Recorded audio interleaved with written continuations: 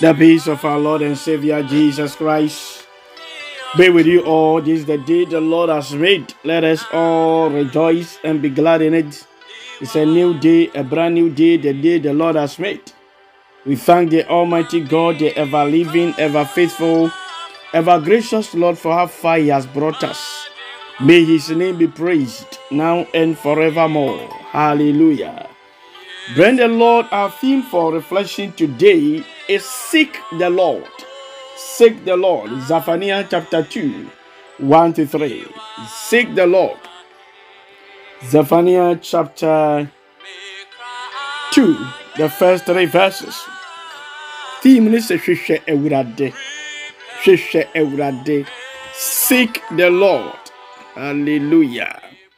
He said, gather together, gather together, O sinful nation, before the appointed time arrives, and that day sweeps on like chaff, before the fierce anger of the Lord comes upon you, before the day of the Lord's wrath come upon you. Seek the Lord, all you humble of the land, you who do what he commands. Seek righteousness, seek humility. Perhaps you will be sheltered on the day of the Lord's anger. Oh my God. So, people of God, the Lord is ever gracious and merciful. Through the, the prophet Zephaniah, God has sent forth his warning concerning the coming judgment upon the sins of the nation of Judah. And this has been emphasized by the truth that God has fixed the day of judgment. And this will surely come and cannot be reversed. Now, the prophet calls Judah to take heed of the warning of judgment and seek the Lord. The warning of judgment has been given well in advance, and this is God's mercy in order to give time for repentance, so that in the midst of the judgment, through genuine repentance and faith in Jehovah, individual can be saved from the eternal punishment for their sins. Eti awurade kye atwa atwam ɛɛ zafania diifo zafania sɛ kakyere ɔman ne sɛ ɔmo sɛ ɔmo adwene mɛde da bi asi hɔ a mɛ awurade mɛbu atɛn ɔmo ase sɛ ɔmo adwene a mɛ awurade mɛbu the warning of judgment has been given well in advance ɔdɔfo nyame ma biribi ntu yɛn mpɔfra mu before God will punish you he will give you a signal he warn you he will make sure that you and I will not be will not be in hell. So you put every measures in place for us to escape hell. And I pray that the Lord will help us so that we will not escape hell. As we view these three verses, that is Zephaniah 2 1 to 3, there are four points for us to consider. Number one, there is a gracious call. ɔfrɛ bi ɛhomɔbɔ frɛ bi adom frɛ bi ɛnɛ wo temene a nyame frɛ wo. Ɔfrɛ wo afi bɔnem ɔfrɛ wo afi adwamabom ɔfrɛ wo afi nturom ɔfrɛ wo afi wiase nneɛma god is calling you out of the pleasures of this world. There is a gracious call. Number two there is action to take. When god calls you you need to take a drastic measure action don't postpone your calling number three there is an attitude to adopt. And four, there is a glimmer of hope. There is a glimmer of hope. Let us consider these four things for our own blessing and living today. Sa enoma nangi and the gracious call.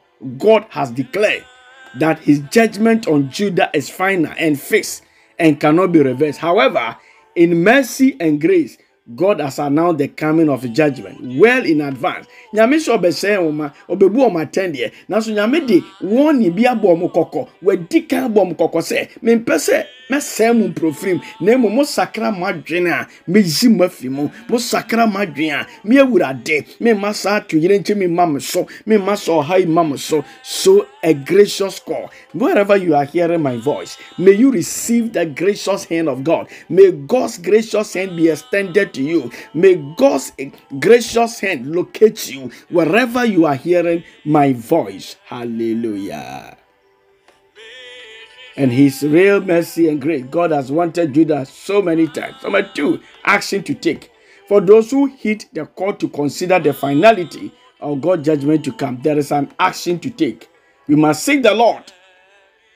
The way we seek the Lord is to be humble before Him and acknowledge that we deserve to be judged because of our sin and sinfulness, and then do what God commands. Tewurade hyɛ yɛn. Sɛ yɛbɛteki ɛnyɛ sɛ ɔkyerɛ mɛsakra anwummere yɛ awie yɛ anɔpɛ ya whatever you are hearing me. If you want to change your mind the set time is now. Don't postpone your repentance. Don't postpone your conversion.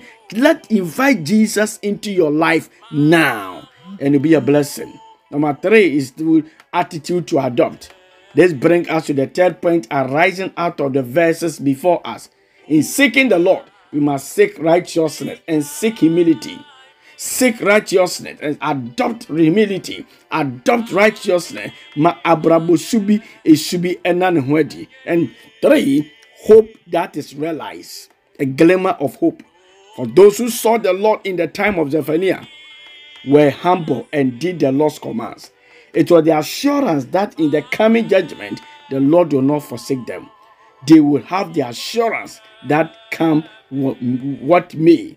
He will be their God and keep them safe in his love in this life and the next. So it was a peace. It was a peace in the midst of the coming judgment. Perhaps God will be gracious and mitigate the suffering for them. People of God, in conclusion, God's judgment is a reality. Nyankopɔn ma yɛ no ɛbɛba ɛnyɛ ɛbɛba the world will be finally judged. God's judgment are being made manifest all through history. We who have faith know that we are always safe in the arms of Jesus and free from corroding care. May God be with us. May God help us. Don't forget the theme is seek the Lord. And number one is that a gracious call, a gracious call. The Lord are graciously calling us is calling us. Number two, take action. Action to take. There is eh, an action to take. Number three, attitude to adopt. And number four, hope that is realized. May God be with you. May God be with you. May His presence carry through the, the, the day. And may His presence be know that there's a time that God has set aside to judge everyone, whether you are tall or short, irrespective of your color, your political affiliation, your qualification, your titles. God will judge us. May He be with us now and forevermore. Peace and life to you. Bye bye.